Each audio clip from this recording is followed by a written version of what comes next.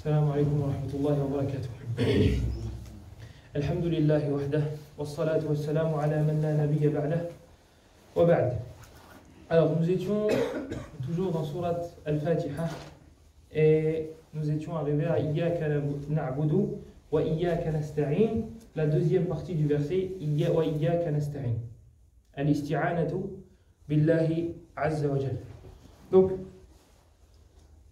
on avait parlé de pourquoi Al-Ibadah avait été cité avant Al-Isti'ana, pourquoi l'adoration avait été citée avant la demande d'aide. Et on avait dit, et on avait parlé, pardon, de, du fait que l'Ibadah, l'adoration, il y avait parmi celles-ci le fait de demander de l'aide à Allah. Donc pourquoi les séparer? Pourquoi les citer différemment? Pourquoi les citer euh, pourquoi les citer les deux dans le verset? On avait répondu à, à cela. Huna, ici, il y a une, faïda en rapport avec, je répète, il y a une faïda ici, euh, en rapport avec Iyaka na'budu wa Iyaka nasta'in. Pourquoi al-ibada et après al-isti'ana Pourquoi l'adoration? Et ensuite, il cite la demande d'aide. La première sagesse que les savants ont, demandé, cité, c'est qu'Allah, nous avons besoin de lui dans l'adoration. Nous avons besoin de lui dans le fait de l'adorer. Voilà pourquoi il nous a demandé, il nous a exigé, il a demandé de nous qu'on lui demande 17 fois par jour, il y a qu'un C'est auprès de toi que nous implorons de l'aide. Parce que pour l'adorer, on a besoin de son aide. Ça, c'est la première chose. La deuxième, pourquoi Allah nous a demandé, nous a ordonné, nous a exigé de demander de l'aide de sa part à lui, subhanahu wa ta'ala? Al-amru. Parce que personne ne détient la, la capacité d'aider en dehors de lui. Pourquoi nous devons demander de l'aide de la part d'Allah? Puisque parce que la réponse parce que personne n'est capable de nous aider en dehors de lui. Personne ne peut nous aider en dehors de lui. Voilà pourquoi nous devons lui demander de l'aide qu'à lui. Maintenant, ici, il y a. Ici, il y a un sujet. Est-ce qu'on a le droit de demander de l'aide à autre qu'Allah subhanahu wa ta'ala? Puisque là, dans le verset, Allah nous dit Et nous implorons de l'aide seulement et uniquement de toi. La réponse, elle est simple. C'est si quelqu'un peut t'aider dans la chose, alors oui. Imaginons, euh, vous êtes dans une piscine et vous ne savez pas nager. Vous avez, glissé, vous êtes tombé dedans. Et là, il y a votre mère qui passe ou votre père et ils savent nager. Est-ce que je peux lui demander de l'aide? Non, il peut m'aider. Il peut m'aider. Pourquoi je ne lui demanderai pas de l'aide? Je reste en train de. jusqu'à ce que je me noie et je dis non, moi je demande de l'aide de la part d'Allah, c'est tout. Et je meurs et je rencontre Allah comme ça? Non. Ce qui est voulu dans la demande d'aide, dans le fait de demander de l'aide qu'à Allah, c'est dans les moments, dans les sujets, dans les endroits, dans les domaines dans lesquels seul Allah peut nous aider. Exemple. Vous êtes dans l'eau encore une fois. Vous avez glissé. Il n'y a personne. Il n'y a personne. Vos parents ne sont pas là. Il n'y a pas d'amis, il n'y a pas de voisins qui peuvent vous entendre. Vous êtes tout seul dans toute la ville. Imaginons. Et là, la personne, elle dit Maman, viens m'aider, maman, viens m'aider. Et elle sait qu'elle n'est pas là. Elle sait qu'elle n'est pas là. Elle lui dit Maman, viens m'aider, viens m'aider. Là, c'est haram. Là, c'est interdit. Pourquoi? Parce que la personne n'est pas vivante, parce que la personne, pardon, n'est pas présente. Et elle ne, peut donc pas l'aider. Là, seul Allah peut l'aider. Donc c'est ça qui est voulu dans la demande d'aide. La demande d'aide, on la, dirige seulement et uniquement vers Allah lorsque ça concerne des choses que seul Allah est capable de faire. Mais les autres choses, on a le droit de demander de l'aide à autrui. Et le prophète a demandé de l'aide à, certaines personnes, d'ailleurs certaines personnes qui n'étaient pas musulmanes. Il leur a demandé son chemin, le, son chemin, etc., etc. Donc il n'y a pas de mal. Là-dedans, il ne faut pas mal comprendre euh, le verset.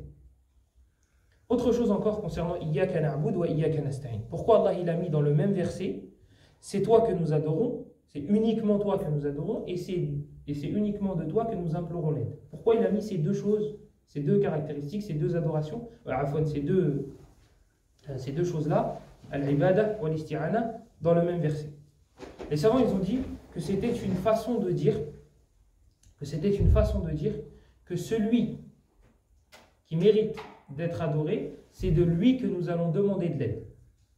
Je répète, pourquoi la demande d'aide a été citée avec l'adoration dans le même verset? C'était une façon de faire comprendre, c'est une façon de faire comprendre que la demande d'aide doit être faite qu'auprès de celui qui mérite d'être adoré. Et ça, c'est une façon de comprendre le verset.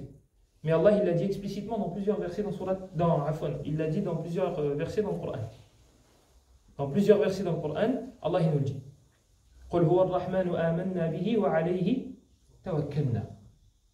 Dans euh, aussi. Euh, رب المشرق والمغرب لا إله إلا هو فاتخذه وكيلا. ده سورة البراءة. سكو سورة البراءة. سورة البراءة. التوبة نعم التوبة. سورة التوبة. سورة براءة سي سورة التوبة. بخوا سورة براءة بسكي كوموس كم براءة من الله. إلى آخره. نعم ليست فيه البسملة. فإن تولوا فقل حسبي الله La ilaha illahu alayhi tawakkalt. Encore une fois, euh, on a l'adoration, la ilaha illahu, personne ne mérite d'être adoré en dehors d'Allah, alayhi tawakkalt. Et c'est en, en lui que je place ma confiance. Donc on a ces deux liens-là, le fait de placer sa confiance, donc la demande d'aide, entre autres, et le fait de l'adorer. C'est une façon de faire comprendre que celui vers qui on doit se diriger pour la demande d'aide, c'est celui qui mérite d'être adoré. C'est une façon de comprendre, de nous faire comprendre cela.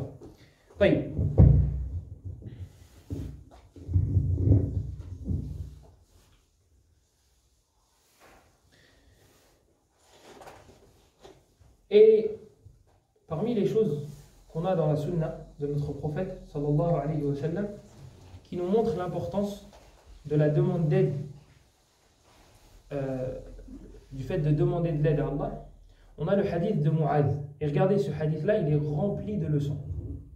Le hadith de, Mu'adh, il est rapporté par Abu Daoud et d'autres. Le prophète sallallahu alayhi wa sallam, et regardez la façon avec laquelle le prophète a parlé à Mu'adh avant de lui dire ce qu'il voulait. Avant de lui dire ce qu'il voulait lui dire. Il dit, Wallah, ya Mu'adh, Wallahi inni la uhibbuk. Le prophète, il dit à Mu'ad ibn Jabal, il dit à Mu'ad, Wallahi, je t'aime. Regardez, imaginez-vous. Quelqu'un veut vous apporter, il veut vous apporter un conseil. Et le conseil, ça, il commence pardon, sa phrase avec Ya Wallahi, je t'aime. Là, vous allez vous dire, il peut me donner le conseil qu'il veut, c'est bon, ça va passer. Je vais accepter. Parce que son introduction, elle est magnifique. Il est en train de me dire qu'il m'aime. C'est, ça fait plaisir. C'est, Là, le prophète, il dit à Mu'ad, avant de lui donner un conseil, il dit Wallahi ya Mu'ad, inni la uhibbuk. Il dit à Mu'ad, Wallahi, je t'aime. Ça y est, à partir de là, il peut lui dire ce qu'il veut. Il peut lui donner le conseil qu'il veut. Il peut faire le reproche qu'il veut. Mu'ad, il va accepter. Il dit à Mu'ad, Wallahi, inni la uhibbuk. ثم أوصاه النبي صلى الله عليه وسلم بوصية جميلة. Il lui a ensuite, par la suite, le prophète sallallahu alayhi wa sallam lui a donné un conseil magnifique. Il lui a dit Ya Mu'ad, n'oublie pas, après chaque salat, après chaque prière, de dire Allahumma a'inni ala dhikrika il lui dit, regardez, il lui dit Allah ya Mu'ad, je, je t'aime. Il lui dit n'oublie pas de dire après chaque prière, regardez, là encore on a une leçon. On a encore une leçon. La personne qui aime une autre personne, qu'est-ce qu'elle va, comment ça va se voir? Qu'est-ce qu'elle va le faire? Elle va lui, elle va lui faire parvenir quelque chose, une manfa'a, quelque chose d'utile. Toi, quand tu aimes quelqu'un, tu aimes lui faire des cadeaux, tu aimes lui, des, lui donner des choses qu'elle aime. Regardez, le prophète, il aime quelqu'un. Qu'est-ce qu'il fait? Il lui donne un conseil dans la religion. Parce qu'il sait que c'est ça qui va être utile. Il sait que c'est ça qui va être le plus utile. Donc il dit à Mu'ad, je t'aime. N'oublie pas après chaque salat, après chaque prière, de dire Allahumma a'inni, ya Allah, aide-moi à t'invoquer, à t'évoquer, pardon. Allahumma a'inni ala dhikrik wa shukrik, à te remercier.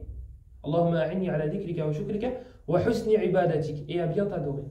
Regardez, là, le dhikr, le fait d'évoquer Allah. Quelqu'un pourra dire, non mais Allah, il va m'aider, j'ai pas besoin de lui demander de l'aide. Je vais le faire pour Allah, je vais évoquer Allah, forcément il va m'aider. Non, tu sais pas. Wa shukrik, remercier Allah. Quelqu'un pourrait dire, non mais j'ai pas besoin de l'aide d'Allah, je vais le remercier, c'est un khir, c'est un bien, forcément Allah il va m'aider. Non, tu sais pas. Demande de l'aide même pour ça et dans le fait de bien t'adorer, Ya Allah. Aide-moi dans ces trois choses-là. Pareil que les deux précédents. On pourrait se dire, mais je vais adorer Allah. Pourquoi je vais demander de l'aide? Eh bien, regardez, pour montrer l'importance de la demande d'aide, eh bien, le prophète lui a dit de, demander à Allah de l'aider dans ces trois choses-là. Et après, est-ce qu'il lui a dit de, de, le dire une fois, deux fois, trois fois? Il lui a dit après chaque prière. Maintenant, les savants divergent. Est-ce que après la prière, ça veut dire après le salam, après le teslim, après le taslimatan, ou bien à la fin de la prière, lors du tashahhud? Tout à la fin. Tout à la fin du tashahhud, est-ce qu'on dit cette du'ala à ce moment-là, ou bien on l'a dit après le salam? Les savants divergent. Parce que Dobur, après chaque prière, ici peut être interprété de cette manière-là, il peut être interprété de cette manière-là. Et on ne va pas rentrer dans les détails de la divergence. Taïb. Qu'est-ce que veut dire al-isti'ana Qu'est-ce que veut dire al-isti'ana Al-isti'ana ou talab al-awn Talab al-awn. Al-isti'ana, c'est le fait de demander de l'aide. D'accord? C'est le fait de demander de l'aide. Quel est l'inverse? Quel est l'inverse du fait d'avoir de l'aide d'Allah? C'est ce qu'on appelle en arabe al-khidlan. En arabe, on appelle ça al-khidlan. Al-khidlan, c'est quoi? C'est le fait d'être humilié. Le fait d'être humilié. Et les savants, ils donnent la définition de l'humiliation. Qu'est-ce que ça veut dire être humilié Ils disent أن يكل أن يكلك الله إلى نفسك. نسأل الله العافية. Quelle est la définition de l'humiliation Quand Allah il humilie un serviteur, qu'est-ce que c'est Qu'est-ce que ça veut dire Nous, on a notre définition à nous d'humilier.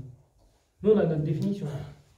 Taïb, La définition qu'on a religieusement parlant, c'est le fait qu'Allah il te délaisse. Le fait qu'Allah il te délaisse. Il te laisse prendre tes, pro- tes- tes propres décisions. Il t'aide pas. Il te laisse prendre tes propres décisions. Il t'aide pas. Tu n'as pas de tawfiq. Tu n'as pas de baraka. C'est ça le khidlan. C'est ça être humilié de la part d'Allah. Il te laisse. Il te laisse avec ton ego. Il te laisse avec, ton nafs, avec ton âme. Et il t'aide pas. Dans toutes tes décisions, dans tout, ce que, dans tout ce que tu entreprends, Allah il te laisse. C'est ça être humilié. C'est ça être humilié. Et c'est justement l'inverse de la demande d'aide. Puisque nous, musulmans, on demande de l'aide à Allah pour ne pas se retrouver dans cette catégorie de personnes-là. Cette catégorie de personnes-là, c'est ceux qui n'ont pas l'aide d'Allah. Cette catégorie-là, justement, c'est, ce sont les musulmans qui demandent de l'aide à Allah 17 fois par jour. Les, musulmans, ils demandent de l'aide 17 fois par jour minimum. Ça, c'est pour ceux qui font les 5 salawat. Sans surérogatoire. Ils font pas les deux rak'at euh, avant le fajr. Ils font pas le shfa' et le witr. Ils font que 5 prières sans compter les surérogatoires. Ils demandent à Allah 17 fois par jour la, la, la guider. Et malgré ça, on voit des musulmans qui sortent de l'islam. On voit des musulmans qui prient les 5 et ils ne sont pas guidés. Comment ça se fait On va le voir, Inch'Allah, après, si j'oublie pas. Si j'oublie pas. Si j'oublie. ربنا لا تؤاخذنا إن نسينا أو أخطأنا. طيب التوكل على الله. Le fait de placer sa confiance en Allah. Ça, c'est une des, des choses qu'on voit avec la demande d'aide. Lorsque tu demandes de l'aide à Allah, tu places ta confiance en lui. طيب, Est-ce qu'on a des versets dans le Coran, des hadiths dans la sunna du prophète sallallahu alayhi wa sallam qui nous parlent du, du tawakkul Bien sûr que oui. الذين قال لهم الناس إن الناس قد جمعوا لكم فاخشوهم فزادهم إيمانا وقالوا حسبنا الله ونعم الوكيل وفي آية, وفي آية أخرى وعلى الله فتوكلوا إن كنتم مؤمنين ومن يتوكل على الله فهو حسبه Tous ces versets-là, dans lesquels Allah il nous ordonne ou il nous pousse à placer notre confiance en lui.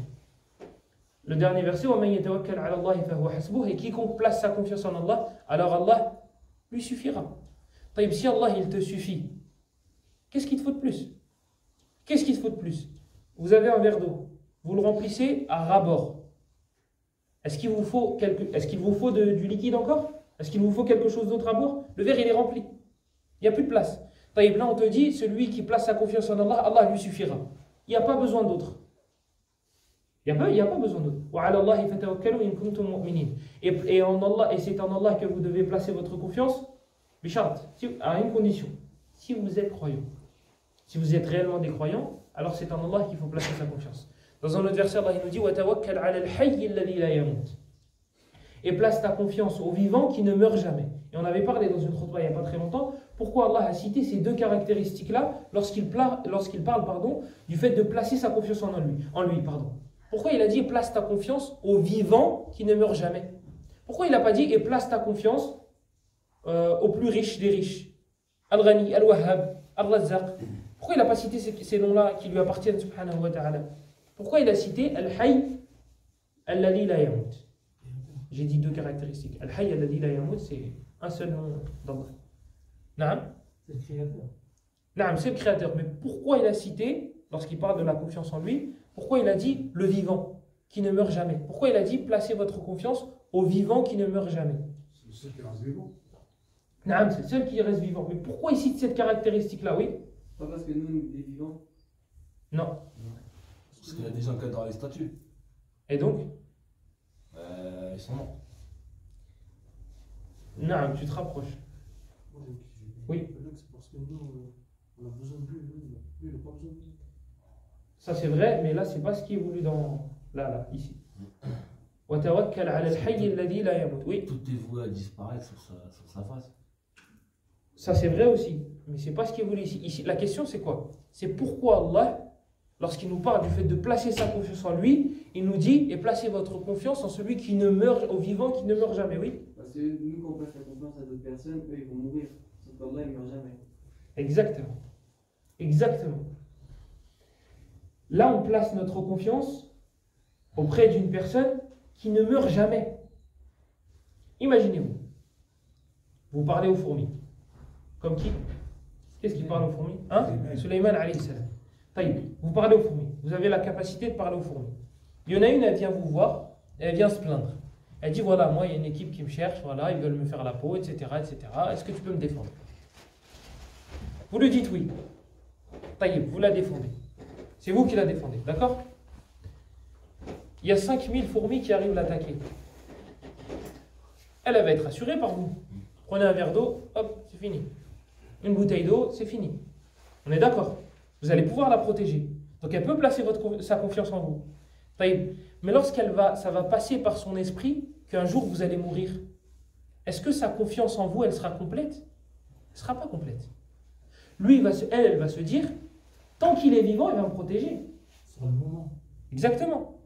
Mais moi, je dors. Moi, je dors, je suis un humain. Au bout d'un moment, je vais dormir.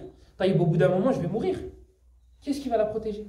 Donc, en fait, même si je suis très fort face aux autres fourmis, même si elle n'a aucune chance de se faire attaquer tant que je suis là, sa confiance en moi ne sera pas complète. Pourquoi? Parce que je suis hay, na'am, mais je, je meurs. Je meurs. Voilà pourquoi Allah il a dit Et place ta confiance auprès du vivant qui ne meurt jamais. Toi, musulman, t'entends cette phrase-là, t'entends ce verset-là, tu es rassuré. Tu te dis, je vais placer ma confiance en quelqu'un de puissant, le plus puissant, mais qui ne meurt jamais. C'est bien d'avoir confiance en quelqu'un de puissant, parce qu'il va pouvoir te protéger. Mais comme on a dit, s'il va mourir, s'il va finir par mourir, ma confiance, elle sera pas totalement, elle sera pas totale. Je vais me dire peut-être qu'il va mourir avant moi, et donc du coup il va m'arriver, il va m'arriver, ou il risque de m'arriver, il risque de m'arriver. Là, on te dit, ô musulman, place ta confiance auprès de celui, auprès du vivant qui ne meurt jamais. Tu peux pas avoir peur de, l'avenir. Tu te dis, celui-là. La personne en qui je place ma confiance, elle ne mourra jamais. Voilà pourquoi il a cité cette caractéristique-là à ce moment-là. Voilà pourquoi il a, placé, il a parlé de la confiance et juste après du fait qu'il était le vivant qui ne mourra, jamais. Ça c'est pour les versets du Coran. On en a d'autres bien sûr. Il y a dans la, dans la sunna du prophète sallallahu alayhi wa plusieurs ahadith. Vous connaissez l'histoire d'Abu Bakr lorsqu'il était avec le prophète sallallahu alayhi wa et qu'il se faisait poursuivre par les mécréants de la Mecque. Lorsqu'ils ont fait la hijra à Médine. Lorsqu'ils ont fait la hijra à Médine. Lorsqu'ils ont fait la hijra à Médine, ils ont été poursuivis, Abu Bakr et le prophète sallallahu alayhi wa sallam ont été poursuivis par les, par les, les, les associateurs. Ils se sont cachés dans une grotte. Abu Bakr, qu'est-ce qu'il a dit نظرت إلى أقدام المشركين ونحن في الغار فقلت يا رسول الله لو أن أحدهم نظر تحت قدميه لأبصرنا فقال النبي صلى الله عليه وسلم ما ظنك يا أبا بكر باثنين الله ثالثهما Abu Bakr, et, euh, Abu Bakr et le prophète sallallahu alayhi wa sallam se sont fait suivre, ils se sont fait poursuivre par les, les- les associateurs de, de Quraysh. Ils les ont suivis.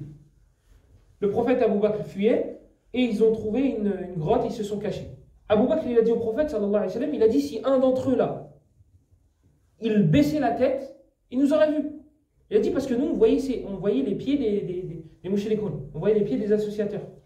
Si eux baissaient la tête, ils nous auraient vus. Ils nous auraient vus, ça y est.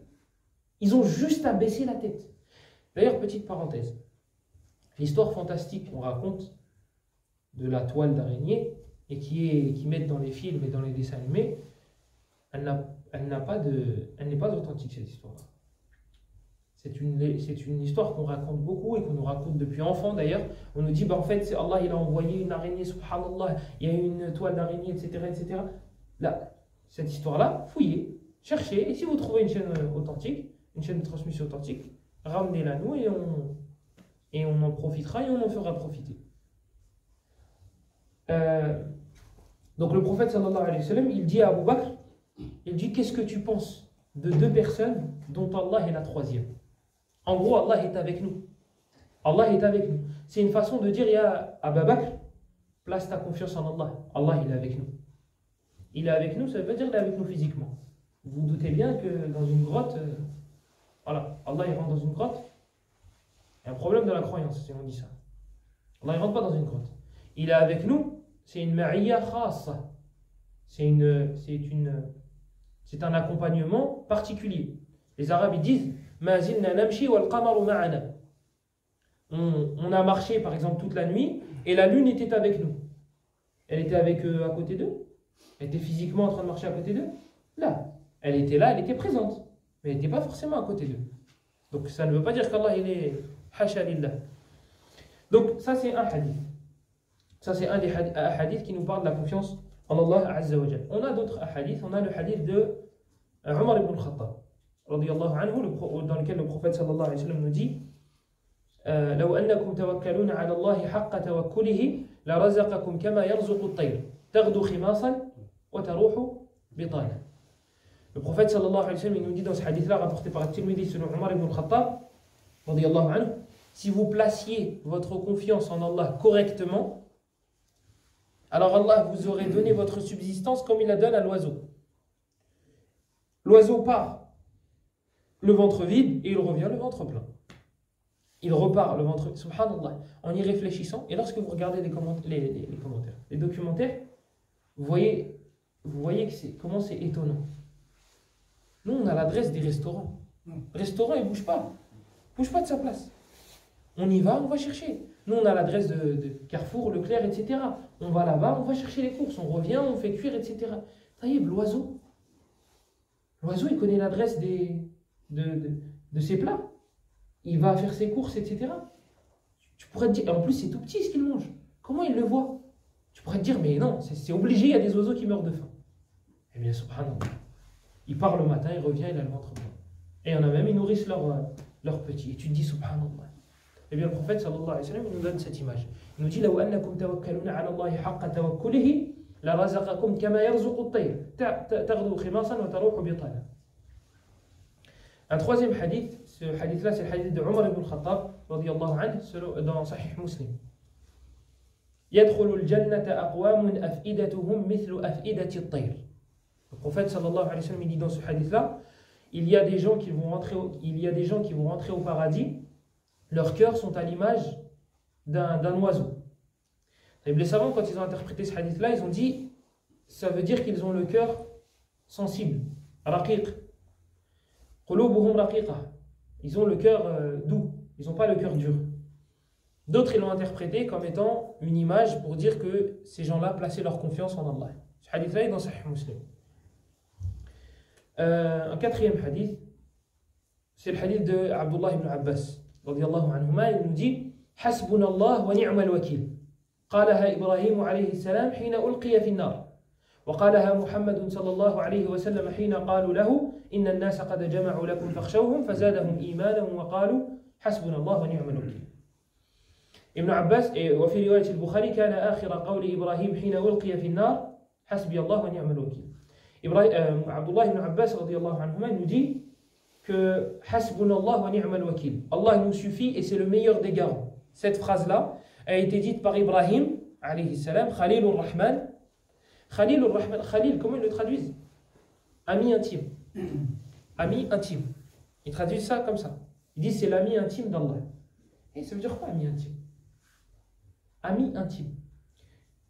Quand on a du mal à traduire, et vous savez que c'est une difficulté, pour ceux qui ont l'arabe, vous savez de quoi je parle. De passer de l'arabe au français, c'est très difficile. De traduire directement l'arabe au français, c'est très difficile. Parce qu'on passe d'une langue qui est extrêmement riche à une langue qui l'est beaucoup moins. Mais un conseil que je dois suivre moi aussi. Lorsqu'un mot, lorsque vous n'a- vous n'arrivez pas à traduire un mot en arabe, parce que vous n'arrivez pas à traduire un mot, de passer de l'arabe au français, en un mot ou en deux mots, expliquez le mot. C'est beaucoup plus facile. Regardez là, Al-Khalil. Au lieu de le traduire par ami intime, qui n'est pas une traduction très bonne, et qui n'est pas. Lorsque je vous dis c'est quoi un ami intime, c'est. Le mieux, c'est d'expliquer le mot Khalil, qu'est-ce que ça veut dire? Al-Khalil, c'est Al-Khulla. Al-Khulla, c'est c'est le plus haut degré d'amour. Tout simplement. Al-Khalil, c'est le plus haut degré d'amour. Et là, je pense que vous serez d'accord avec moi, c'est beaucoup plus clair que ami intime. Je vous dis, euh, Ibrahim, c'est l'ami intime d'Allah. Et là, je vous dis, en fait, Al-Khalil, ça veut dire le plus haut degré d'amour. Ah là, c'est beaucoup plus évident et beaucoup plus clair. Donc voilà, Ibrahim, c'est la- j'allais dire, c'est l'ami intime. Ibrahim, il a atteint ce degré-là. Il a atteint ce degré-là auprès d'Allah. Il a atteint le plus haut degré d'amour. Il atteint le plus haut degré d'amour. Ça veut dire que Mohammed, il est, il est en dessous d'Ibrahim Dans le fadl, dans le mérite On vient de dire il a atteint le plus haut degré d'amour. Je vais vous rajouter un, truc, un autre problème.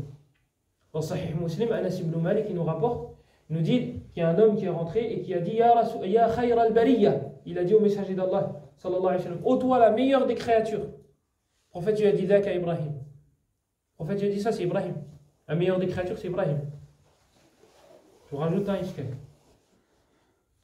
Les savants, ils ont dit, comme Nawawi, rahimahullah, je crois dans dans Sharh de Sahih Muslim, je crois. Il dit qu'il y a plusieurs interprétations possibles ici. La première, c'est que le prophète sallallahu alayhi wa sallam a dit ça tawadu'an. Tawadu'an. Yani, il s'est. euh, par modestie.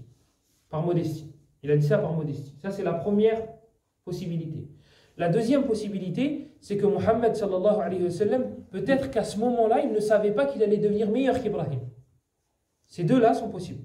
Mais dans tous les cas, Mohammed est meilleur qu'Ibrahim. Mohammed est meilleur qu'Ibrahim. Alayhima as-salatu was-salam. Et lorsqu'on dit tel est meilleur que tel, attention. Ça ne veut pas dire que le deuxième est à un bas degré, etc. Lorsqu'on vous dit tu préfères ta mère ou ton père, certains disent parce qu'ils ne veulent pas répondre, et ils connaissent la réponse. Les deux. Et ils disent les deux. Mais on connaît tous la réponse. On ah, connaît tous la réponse.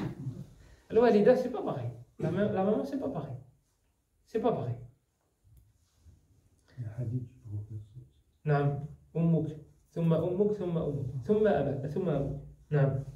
Donc la mère est pas savante. On sait et on le sait tous. Mais quand tu poses la question à certaines personnes, ah, ils jouent. Non, mais moi je peux pas choisir entre me- mes deux pays. Bah, du coup, bah, je peux pas choisir entre. euh, entre... Ah, apparemment, il y en a un qui est là. Donc la mère, euh, la mère, euh, on sait très bien qu'on préfère, euh, qu'on préfère la mère. Taïb, est-ce que ça veut dire qu'on n'aime pas notre père ou qu'on l'aime pas beaucoup? On l'aime pas de la même manière. On l'aime pas, c'est pas le même degré. Bah là, lorsqu'on dit Mohammed il est meilleur qu'Ibrahim, faut pas comprendre qu'Ibrahim il est, il est bas ou là, là, là, là, là, là. Ibrahim il a eu des épreuves. Wallah, et en y réfléchissant bien, c'est vraiment, ça fait peur. Quand tu te dis un serviteur a été éprouvé comme ça, ceux parmi vous qui ont des enfants, imaginez-vous, Allah il vous donne un enfant après la cinquantaine. Après la cinquantaine. Il vous donne un enfant. Après la cinquantaine. Après. Et Allah, il vous dit, égorge-le. Il vous dit pas tue-le. Il vous dit égorgez-le. Et c'est pas pareil. C'est pas pareil. Il vous dit égorgez-le. Qui pourra supporter cette épreuve-là? Égorge-le. Ton cousin, d'accord? Tu reçois un message de la part d'Allah via un prophète, via Allah, il te dit tue ton cousin que tu aimes le plus. Il te dit tu dois l'égorger. Comment tu vas réagir? Yahri, là, c'est ton fils c'est ton fils que tu as eu après un certain âge. Et on te dit, tu l'égorges. Ibrahim, il l'a fait. Il l'a fait. Sauf qu'Allah lui a fait miséricorde et il a vu qu'il avait obéi. Donc il a, il, a, il a fait en sorte que son fils ne meure pas. Qui est-ce qui peut supporter une, épreuve aussi lourde que celle-là? Donc il ne faut, pas, faut pas se dire, Ibrahim, bah, Mohamed il est meilleur, bon, Ibrahim il n'a pas un... Là, là, là, là. Là, Ibrahim alayhi salam, « Wa idhi batala Ibrahim rabbuhu bi » Il a réussi toutes ces épreuves. Ibrahim alayhi salam. Ibrahim alayhi salam dans Sahih al-Bukhari, il a reçu l'ordre de se circoncire. De se circoncire, al-khitan. Il a reçu l'ordre, il avait plus de 80 ans. Il n'y avait pas d'anesthésie, ni locale ni générale. Il regarde autour de lui, il voit il y a une hache. Il a pris la hache et il s'est circoncis avec. Il s'est circoncis avec une hache. Pourquoi? Ben Parce qu'en fait, il a reçu l'ordre, il ne voulait pas reculer l'ordre. Il voulait le faire rapidement. Dès qu'il a reçu l'ordre, lui, il ne veut pas euh, plus tard, Inch'Allah. Et juste, je finis ça après. Là, là, il a reçu l'ordre, il a, il regardé autour de lui, il a vu une, une hache, il a coupé. Une hache. Donc ne vous dites pas, quand on vous dit tel il est meilleur que tel, ne vous dites pas non mais ça va, ça veut dire il n'est pas si fort que ça. Là, là, là, là. Hasha wa. Donc Ibrahim il a sa place. Euh, comment on en est venu à, à Ibrahim alayhi salam Ah, Al-Khalil. Al-Khalil. حديث عبد الله بن عباس حديث عبد الله بن عباس رضي الله عنهما حسبنا الله ونعم الوكيل Donc Ibn Abbas il nous dit que cette parole-là, Allah me suffit et c'est le meilleur des garants, cette phrase-là a été dite, cette phrase-là a été dite par Ibrahim alayhi salam lorsqu'il a été jeté dans le feu. Cette phrase-là a été dite par Ibrahim lorsqu'il a été jeté dans le feu. Ici, il y a une version du hadith qui dit que lorsqu'il a été jeté, il y a Jibril alayhi salam qui est venu et qui lui a dit Est-ce que tu as besoin d'aide? Et euh, Ibrahim alayhi salam, il lui aurait répondu De toi, non. De l'aide de ta part à toi, Jibril, non. Je veux de l'aide d'Allah, pas toi. Cette version-là, elle a vérifié. Elle a vérifié. Allahu alam, je ne sais plus si elle, Je sais qu'il y a certains savants qui l'ont rendu faible, et je ne sais pas s'il y en a d'autres qui l'ont authentifié euh, fil muqabil. Donc cette version-là, elle a vérifié. Allahu alam. Donc euh, Ibn Abbas il nous dit le prophète, euh, cette parole-là, euh, Allah me suffit et c'est le meilleur des garants, elle a été dite par Ibrahim quand il a été jeté dans le feu. Et elle a été dite par Mohammed sallallahu alayhi wa sallam lorsque les gens lui ont dit. Les gens se sont réunis contre vous. Quand ils ont entendu ça, les croyants, le prophète a dit Hasbunallah wa ni'mal wakil. Allah nous suffit et c'est le meilleur des garants. Donc ça, c'est des quelques hadiths qui nous parlent de la confiance en Allah subhanahu wa ta'ala. Attention, la confiance en Allah ne veut pas dire ne pas faire des causes. La confiance en Allah ne veut pas dire ne pas faire des causes. Malheureusement, il y a des gens, lorsqu'ils euh, s'intéressent à l'islam, euh, ils donnent une mauvaise image de celle-ci. Et c'est dû à leur ignorance. Et on est, malheureusement, j'ai pas envie de dire tous passés par là, mais beaucoup sont passés par là. On pense bien faire, mais on fait mal. Tu as le, le- l'enfant, même s'il atteint un certain âge, ça reste l'enfant. Il dit Moi, j'arrête l'école, je ne veux pas travailler. Mais je place ma confiance en Allah. Ça, c'est pas du tawakkul. Le prophète sallallahu alayhi wa sallam, lorsqu'il s'est, il- il s'est battu dans les batailles, il avait une, une- armure et il avait, il avait de quoi se protéger. Pourquoi il n'a pas dit non, moi je place ma confiance en Allah, c'est bon, je vais en t-shirt Pourquoi? Parce qu'il a fait les causes. Et parce que les causes font partie du tawakkul. Qu'est-ce qui est mauvais? C'est le fait d'accrocher son cœur aux causes. Moi, je serai jamais pauvre. C'est pourquoi? Je travaille. Là, tu accroché ton cœur aux causes. Là, c'est pas bon. Je serai jamais pauvre parce que je travaille, parce que j'ai des diplômes, parce que je suis intelligent. Tu as placé ton cœur au mauvais endroit. Il y a une histoire qu'on raconte. Et quand mon professeur me l'a raconté, il m'a dit on ne sait pas si elle est authentique. Donc je vous le dis, on ne sait pas si elle est authentique. On ne sait pas. On raconte que l'imam Malik et l'imam Shafi'i, ils ont eu un débat. Vous savez que Malik, c'est le professeur de Shafi'i. Et Shafi'i, il avait beaucoup de respect pour l'imam Malik. Et Shafi'i, c'est le professeur de qui? Ahmed. Dans les quatre écoles, vous avez Abu Hanifa, Malik, Shafi'i et Ahmed. Enlevez Abu Hanifa. Malik, c'est le professeur de Shafi'i. Shafi'i, c'est le professeur de Ahmed. Subhanallah. Et chacun a sa particularité. Chacun a, un domaine dans lequel il a plus euh, explosé que l'autre. Explosé dans le bon sens du terme. hein, Euh, on raconte qu'ils ont débattu. Malik, il disait que faire dua, c'était faire les causes. Ça suffit. Ça suffit pour faire les causes. C'est dua. Et Shafi'i disait non, ça suffit pas. Donc le professeur, il débat avec l'élève. Et ils débattent et chacun sort les arguments. Ils finissent de débattre, ils ont fini de débattre, chacun est resté sur son avis.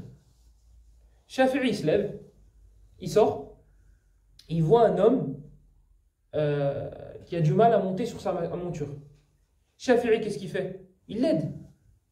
Il l'aide à monter sur euh, sa monture. Et l'homme, pour remercier Shafi'i, il lui donne des dates pour le remercier. Et là, Shafi'i dit Ça y est, j'ai gagné le débat. Je vais dire à Malik J'ai fait les causes, j'ai eu des dates. Eh ben oui, j'ai fait les causes. Et Allah, il m'a donné des dates. Donc il court à la mosquée et il va voir Malik. Et lui dit Regarde, j'ai fait les causes, j'ai eu les dates.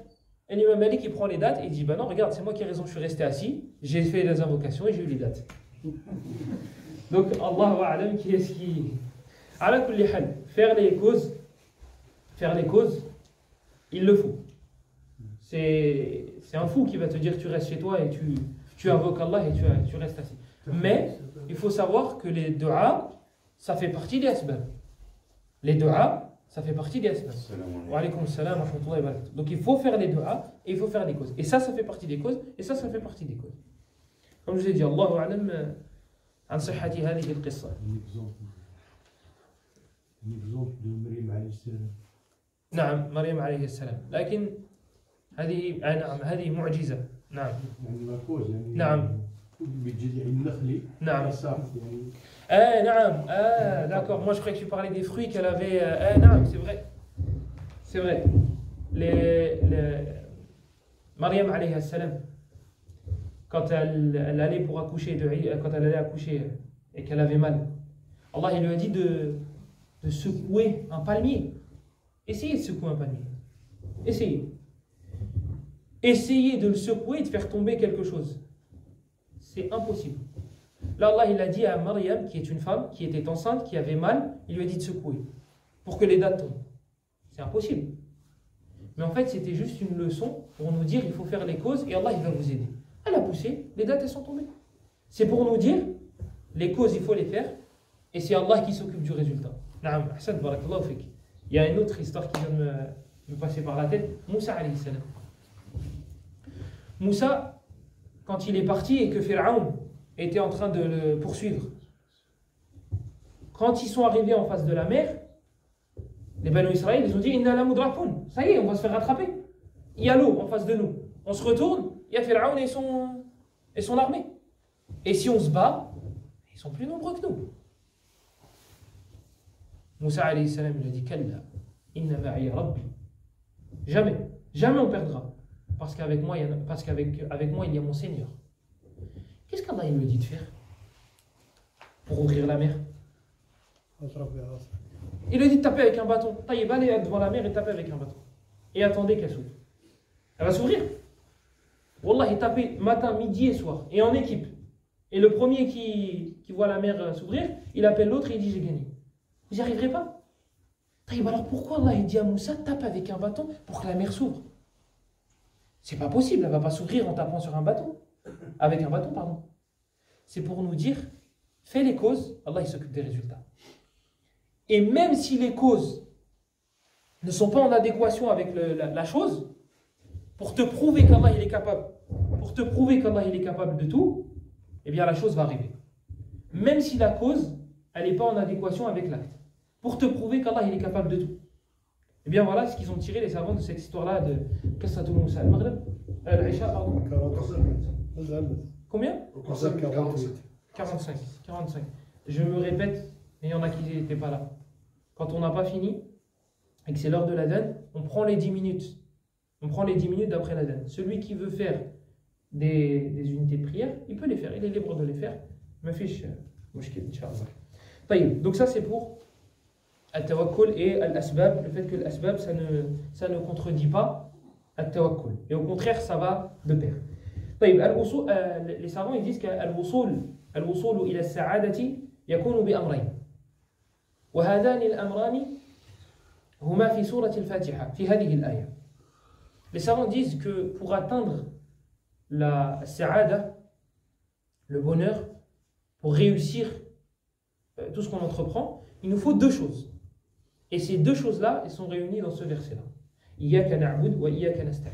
C'est seulement toi que nous adorons et c'est seulement, seulement de toi que nous implorons de l'aide. Ces deux choses-là réunissent les causes pour être euh, un gagnant et pour avoir le succès. Le fait d'adorer Allah et le fait de lui demander de l'aide. Lorsque vous voulez entreprendre quelque chose, faites une adoration pour Allah et demandez-lui de l'aide. Vous réussirez tous vos projets. S'il y a du khayr dedans. Mais s'il y a du mal dedans, ou il y a plus de mal que de bien, Allah, par sa miséricorde, il vous enlèvera, il vous détournera plutôt de cette chose-là. Ihdina as-sirat al-mustaqim. Vous voyez, tout à l'heure, je, le disais à, certains frères, vous voyez que là, on rentre dans les détails. Un verset, un morceau de verset, il peut prendre une heure, etc. etc. Sachez qu'il y en a qui s'étalent encore plus. D'accord? Mais Inch'Allah, à la fin de chaque surah qu'on qu'on fera, on fera un cours sur le tafsir de cette sourate-là de manière résumée. Donc là, on va faire le Fatiha de manière détaillée jusqu'à la fin, Inch'Allah, si on, est vivant, si on reste vivant. Et on fera un cours sur tafsir de Surat al-Fatiha en résumé, sans rentrer dans les détails, en un seul cours, Inch'Allah. Comme ça, celui qui veut les détails, il a les détails, celui qui ne veut pas les détails, il n'aura pas les détails. Et tout le monde, Inch'Allah, sera. Je vais dire tout le monde, Inch'Allah, sera satisfait. Mais tout le monde est satisfait, c'est pas un objectif, ça. Donc non, c'est pas tout le monde sera satisfait. On ne cherche pas à ce que tout le monde soit satisfait.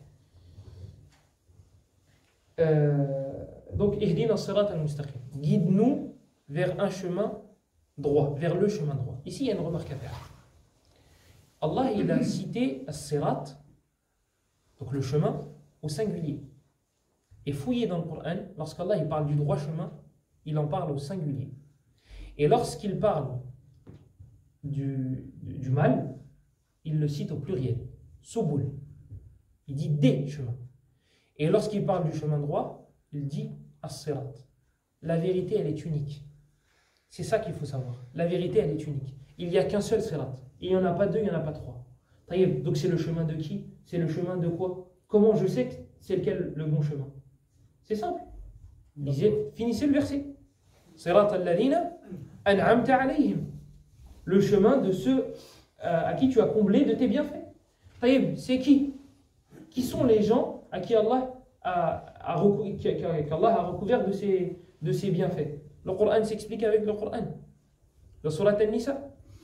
ومن يطع الله والرسول فأولئك مع الذين أنعم الله عليهم من النبيين والصديقين والشهداء والصالحين وحسن أولئك رفيقا C'est le chemin des prophètes, le chemin des messagers, le chemin de Mohammed le chemin des autres prophètes, le chemin des martyrs, le chemin des véridiques, etc. etc. C'est cela. C'est le chemin de ces gens-là qu'il faut, faut suivre. Voilà c'est quoi le bon chemin. Celui qui suit Mohammed il aura suivi le droit chemin. Donc voilà de quel sirat on parle. Voilà de quel chemin on parle. Et il y a une, une faïda euh, concernant le fait que je vais vous le mettre sous forme de question, après je réponds, ce sera mieux plutôt que de. J'allais vous donner la réponse, ensuite citer la. Pourquoi les gens qui essayent de se mettre dans la droiture, dans le droit chemin, dans l'obéissance d'Allah, ils trouvent qu'il y a un agacement ils en ont marre. Ils en ont marre. Ils sont agacés. Par contre, ceux qui sont dans l'autre chemin, dans le mal, etc., ils en ont pas marre. Certains savants ont dit, ont expliqué la chose de cette manière-là.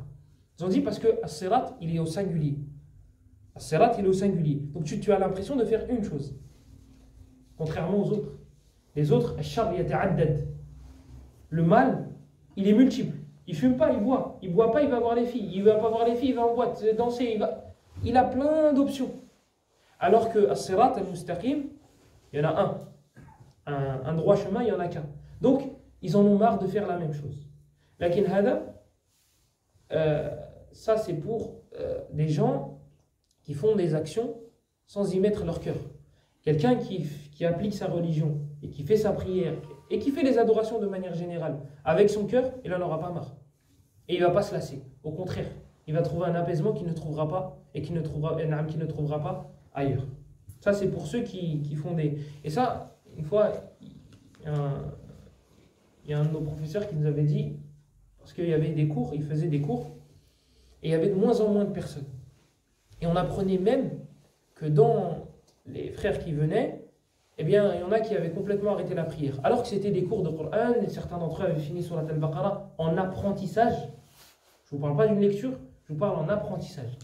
Et on ne les voyait plus du tout dans les cours, du jour au lendemain. Et on, a, on apprenait ce qu'ils faisaient, etc., etc. Et il y en a même un, il a fait Al-Khatma, il a fini le Coran. Il a fini le Coran. Wallah al-Azim, cette personne-là, je la connais personnellement. Je la connais personnellement et je la connais très bien. Elle est partie faire une Umrah après des années de, de péché, etc. Il a fini le Coran. Il a fini de l'apprendre. Il a fait des, pendant des années des péchés. Il a arrêté de, il a arrêté de saler, il a arrêté de réviser, etc. Après des années, il a essayé de se repentir. Il est parti à Mecca pour faire sa Umrah. Il faisait des, photos, des vidéos. Il fumait la chicha là-bas. Là-bas, à Mecca. Vous imaginez? Donc, Al-Qalb, wa. Le cœur, il est entre deux doigts d'Allah. S'il veut, il le laisse sur le droit chemin, et s'il veut, il le tourne. Et ça, c'est justement, c'était le prochain point. C'est que la guidée, elle est auprès d'Allah. Mais cette guidée-là, Allah, il peut nous l'enlever. Voilà pourquoi il nous a dit de lui demander 17 fois par jour, au minimum. 17 fois par jour, de lui demander de nous laisser sur le droit chemin. Parce qu'en un clin d'œil, on peut être égaré. Je vous avais parlé une fois sur le minbar de Qasimi. Qasimi, c'est un grand savant d'Arabie Saoudite. C'est un grand savant. C'est pas un étudiant, c'est pas un professeur, c'est un grand savant d'Arabie Saoudite. Il était même dans la classe de certains savants qu'on connaît. Qu'on connaît et qui sont. Eh bien, certaines personnes les le mettaient au-dessus de ces savants-là au niveau de l'intelligence. Il a écrit des livres très, très jeunes. Il a écrit des livres magnifiques. Le micro, il ne veut pas tenir. Il a écrit des livres magnifiques. Et ses ouvrages, ils sont encore euh, publiés, prouvent qu'il avait une intelligence vraiment hors norme. C'est un, une personne qui a appris le Coran bien avant ses 15 ans. Il est parti en, en Égypte et il a appris le falsafa. Il a appris la philosophie, etc., etc., etc.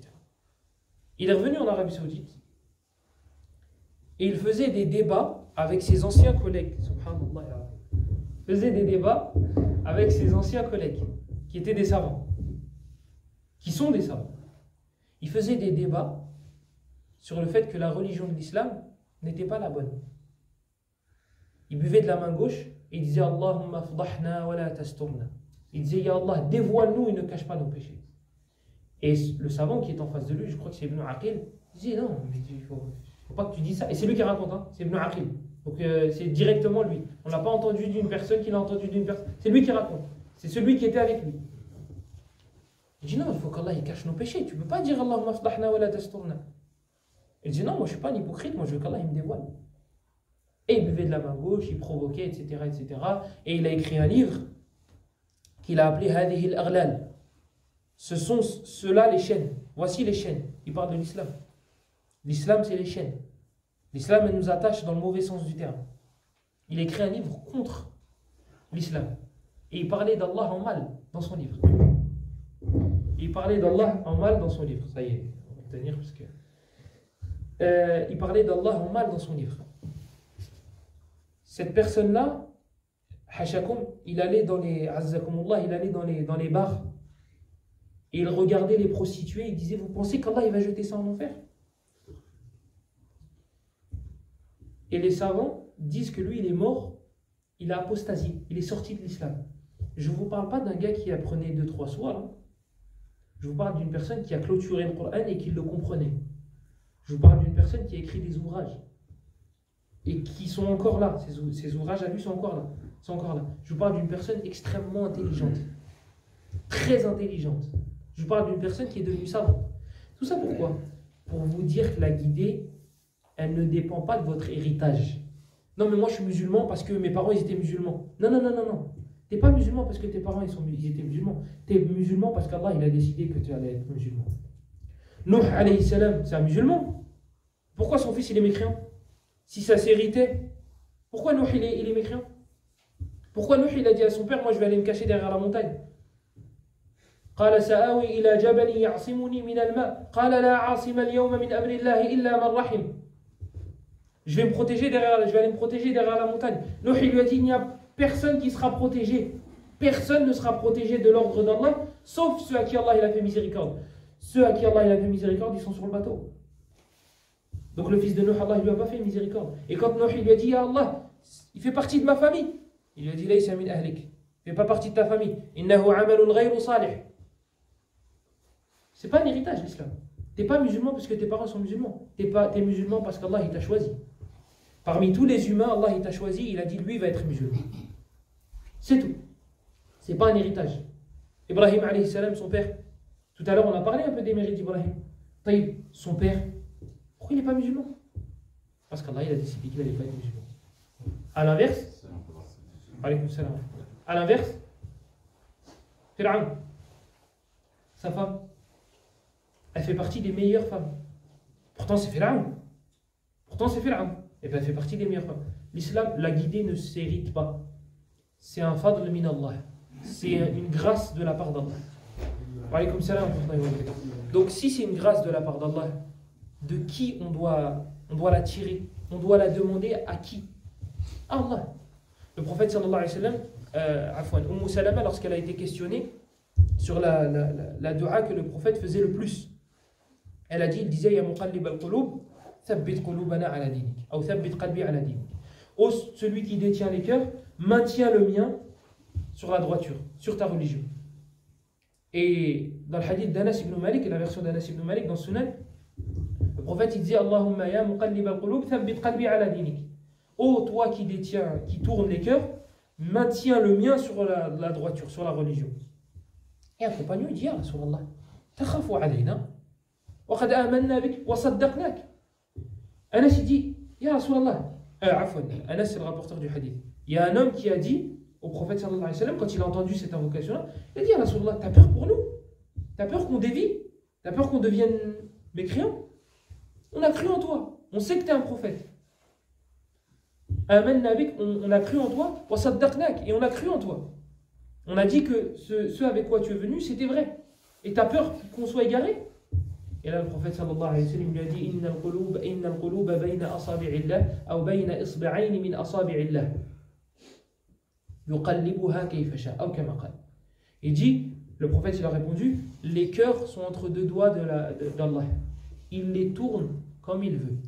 Dans la version de Nawas ibn Sam'an, dans Sahih Muslim, il dit Inna al-quluba bayna asabi'illah, euh, inna al-quluba bayna الرحمن يقلبها كي آه، إن شاء أقامه وإن شاء أزاغه Je crois que je l'avais.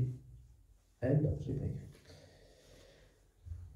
إن القلوب بين إصبعين من أصابع الرحمن يقلبها نعم آه ما من قلب la version de Sahih Muslim ما من قلب إلا وهو بين أصبعين من أصابع الله إن شاء أقامه وإن شاء أزاغه Chaque euh, cœur est entre deux doigts des doigts d'Allah.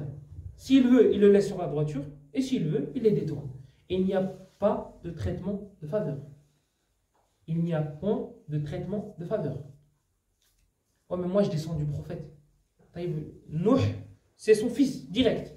Il descend même pas, c'est directement son fils. Il y a pas de, on raconte que euh, je vais faire des analyses ou des prises de sang ou je sais pas quoi pour voir dans ma lignée si je descends du prophète. Comme les frères ils font maintenant, ils payent 50 euros ou un peu plus et pour te dire ah, moi je fais partie de la famille du prophète, regarde ou de la famille des compagnons, regarde euh, au Yémen il y en avait et donc là là là c'est Nuh alayhi salam son fils direct, son fils. Allah il l'a validé. Abu Talib, l'oncle du prophète. L'oncle du prophète. Allah il l'a pas guidé. Et qu'est-ce qu'il lui a dit? Tu ne guides pas qui tu aimes. La guider, elle est entre les mains d'Allah. Donc voilà pourquoi Allah il nous a, demandé, il nous a dit, nous a pas demandé, il nous a exigé de lui demander la guider 17 fois par jour. 17 fois par jour. Et tout à l'heure, j'ai posé une question et j'ai dit, j'espère que je vais m'en rappeler pour y répondre. Pourquoi certaines personnes font cette invocation-là et ils dévient? Tout simplement parce qu'ils récitent ce qu'ils ne comprennent pas. Ils ne sont pas concentrés lorsqu'ils récitent, donc ils font la dua, le fatiha, sans la faire. Ils ne sont pas dedans. Ils la font parce qu'ils doivent réciter. Ils récitent comme ça. Ils ne sont pas dedans. Et la deuxième réponse possible, c'est qu'il y a des causes qui font en sorte qu'Allah égare la personne. Il y a des causes qui font en sorte qu'Allah égare la personne. Il y en a trois. J'ai pas dit il n'y en a que trois. J'ai dit il y en a trois. La première, c'est l'istihza. C'est le fait de se moquer des gens égarés. Le fait de se moquer des gens égarés. Pour les rabaisser, pour les humilier. Taïb Allah, il peut te punir en t'égarant toi. T'as pas de t'as pas de mérite dans le fait d'être guidé. C'est pas toi qui t'es guidé. C'est pas parce que tu es beau que tu es guidé. C'est pas parce que tu t'es habillé comme ça qu'Allah t'a guidé. C'est parce qu'il a voulu te guider. Point. Ça s'arrête là. Donc tu n'as pas rabaissé et à te moquer de ceux qui ne sont pas guidés. La deuxième cause, c'est le fait de, ne pas demander à Allah d'être guidé. Ça, c'est une cause pour qu'Allah t'éloigne du, droit chemin. Et la troisième, j'espère qu'elle va revenir parce qu'elle n'est pas là. Oui, elle n'est pas dans ma tête. Du coup, on est guidé par Allah, mais la transmission de notre religion, par nos parents. La transmission, oui, ce sont que des causes. Ce sont que des causes. Mais la, la, guidée, c'est Allah qui la détient. Il y en a qui font des causes pour que les gens se convertissent et ne se convertissent pas. Parce que la guidée, elle appartient à Allah. La troisième cause, on va la trouver avant de,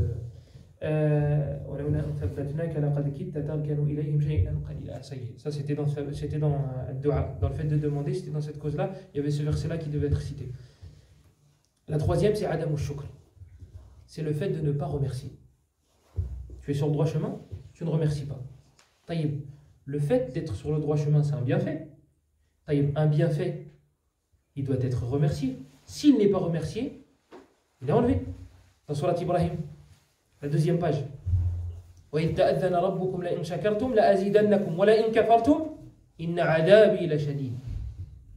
Et votre Seigneur a dit Si vous remerciez, je vais vous rajouter. Mais si vous me croyez, mon châtiment est certes très dur. Et il y a plein de versets qui parlent du fait que lorsqu'on ne remercie pas, Allah il nous enlève ce bienfait-là. Dans la fin de Surat al-Qasas, avec l'histoire de Qarun.